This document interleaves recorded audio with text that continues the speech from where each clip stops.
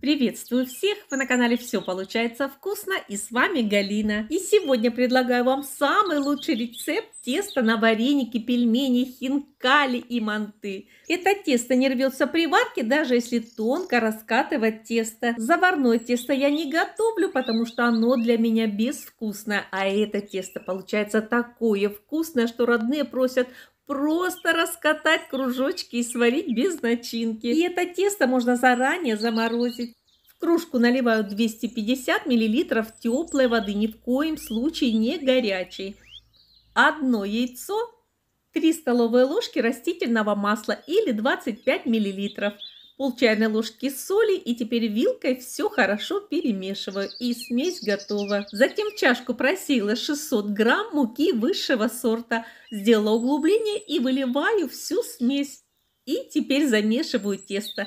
Тесто замешиваю очень тугое. Если вам покажется, что тесто тугое, не бойтесь, оно отлежится и станет мягким, поэтому замешиваем очень крутое тесто. Я добавляю еще пару ложек муки. Пусть тесто будет потверже, потому что размягчить его можно с помощью воды, макая руки в воду. А вот загустить не получится. Воды там не будет и клейковина не будет расходиться и тесто не станет тверже. Теперь скатываю и кладу в пакет. Выгоняю весь воздух с пакета, чтобы тесто осталось без кислорода. Это очень важно. И оставляю на столе расстояться на полчаса. Через полчаса делаю вторую обминку, хорошо растягивая тесто. Несколько раз вот таким образом. Хорошо вытягиваем тесто.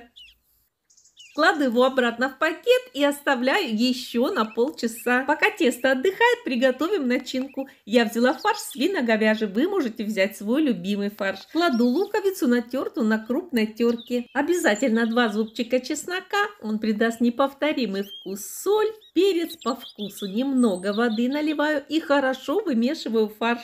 Ну вот фарш и готов. Накрываю его крышкой и отправляю в холодильник настояться. Прошло полчаса и тесто готово. Посмотрите, какое чудесное тесто. Оно как пластилин.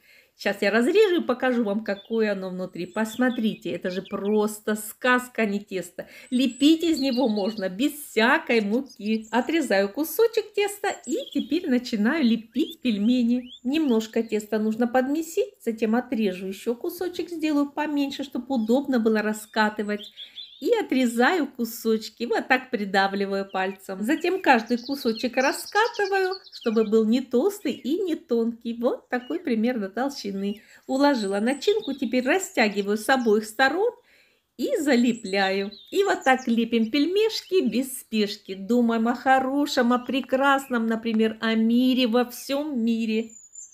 Мы любим, чтобы краюшки были большими, они такие вкусные, потому что тесто это просто бесподобное. Отправляю пельмени на заморозку. Когда пельмени заморозятся, вот так беру пакет и снимаю. Все, вот так быстро пельмени оказались в пакете, отправляю их в морозилку.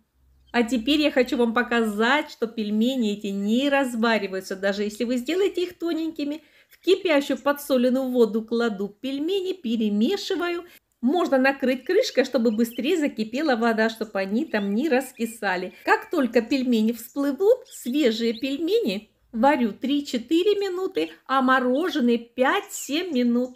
Ну вот пельмешки готовы, посмотрите, ни один не порвался. Какие красивые, кладу масло, перец по вкусу. И сейчас я попробую. Посмотрите, какая прелесть.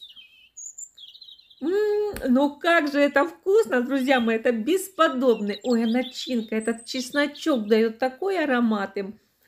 А тесто просто чудо. Можно положить сметанки и приятного аппетита. Готовьте с такого теста пельмени и вареники. Такое тесто можно заморозить и лепить в удобное вам время. Если понравилось видео, подписывайтесь на наш канал. Жмите на колокольчик, чтобы не пропустить новые вкусные рецепты. Поделитесь этим видео со своими друзьями. Пусть и они попробуют эти вкусные пельмени с бесподобного теста. Всего вам доброго, мир вашему дому, здоровья, счастья и любви.